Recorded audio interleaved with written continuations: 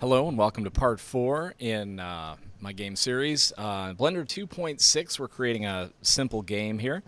We have a sky dome setup, we have texture for the grass, and I've created a very simple structure.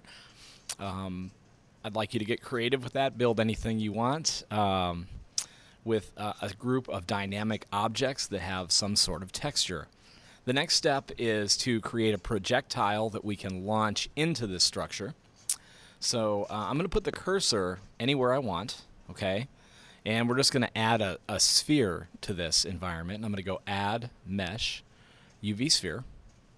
And I'm going to kind of put it close to the structure that it will be um, sort of breaking apart so I can scale it appropriately. And you know, something about that size looks right uh, for now.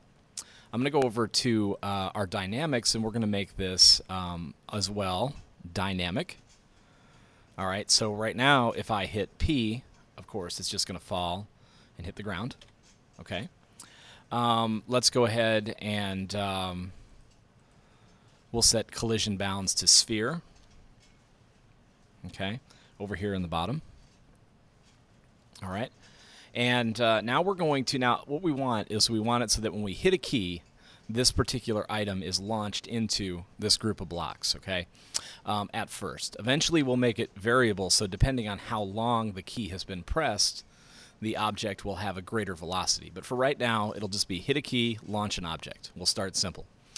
Um, we're going to move this object to the second layer. So I'm going to hit M, and you can see, I'd like to point this out too. Down in the bottom, you can see the object is selected down in the bottom left, you can see which object it is. It's sphere point zero zero one. That's going to be important.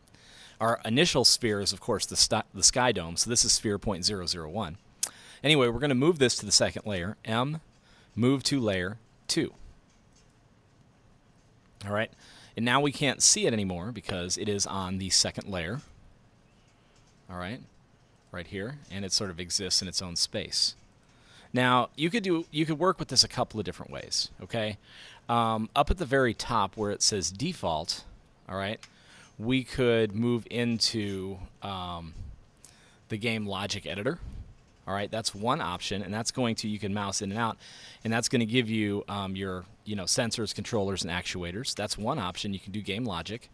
I'm going to leave it in default though, and where the timeline uh, box is down here in the corner, all right, I'm going to switch that to uh, the joystick. It says Logic Editor.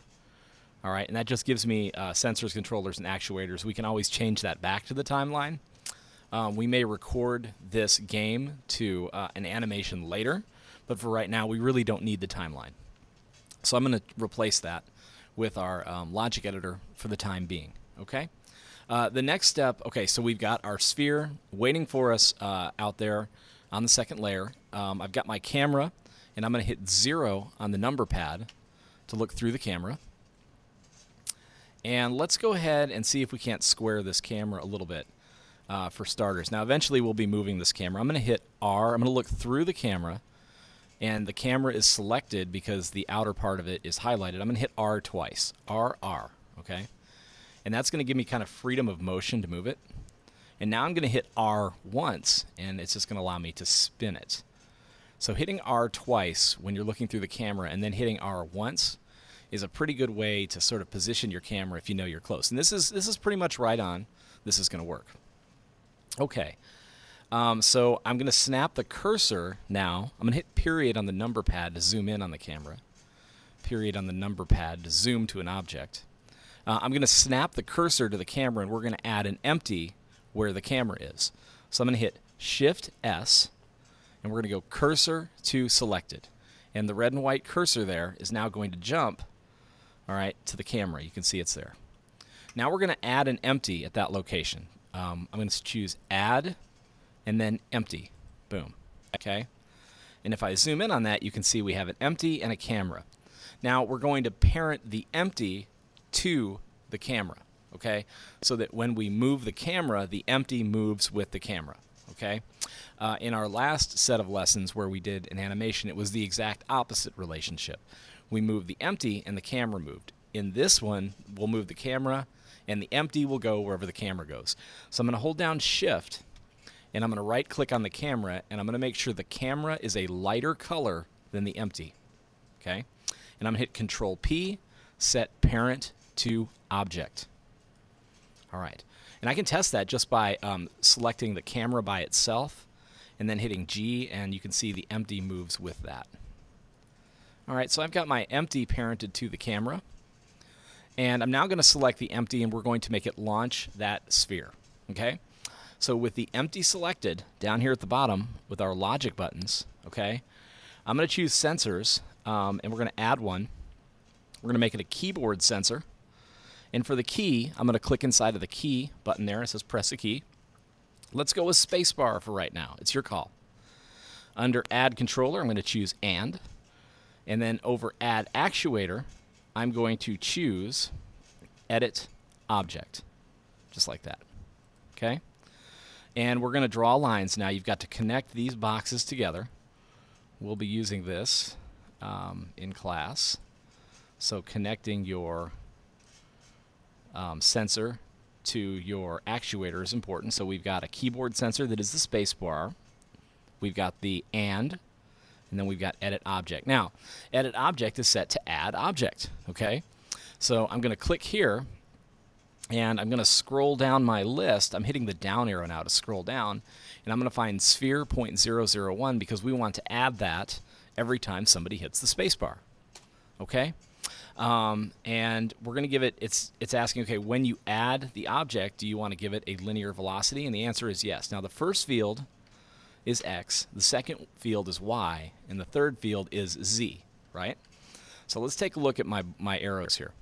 Um, I've got the red arrow in Blender is the x-axis, the green arrow is the y-axis, and the blue arrow is the z-axis. So, and it's always pointing, the arrows point in the positive direction okay?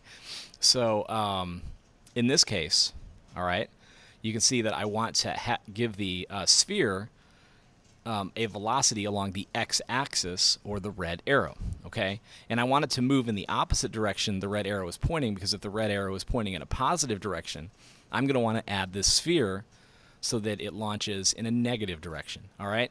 In short, based on where my uh, arrows are pointing and the fact that, you know, the way this is lined up, down the bottom in the linear field for the first field, which is our x box, okay, I'm going to go ahead and I'm going to write negative 10. Negative 10, just like that. All right, so every time we hit the space bar, it's going to add a sphere 0.001, and it's going to give it a linear velocity of negative 10. I'm going to look through the camera by hitting 0, okay? And I'm going to hit P to play this game, all right? And that's basically what the user is going to see. And let's go ahead and hit the spacebar, and you can see that it does launch spheres every time I hit the spacebar. And I can sort of move out of the camera view. You do not have to play in camera mode. I'm going to hit P, and uh, I'm going to launch the spheres just like that. And you can see that it does knock the top block off of my structure. I have everything working correctly. Um, if you have your empty adding objects like that every time you press a key, you're done with this tutorial. We'll be refining that in the next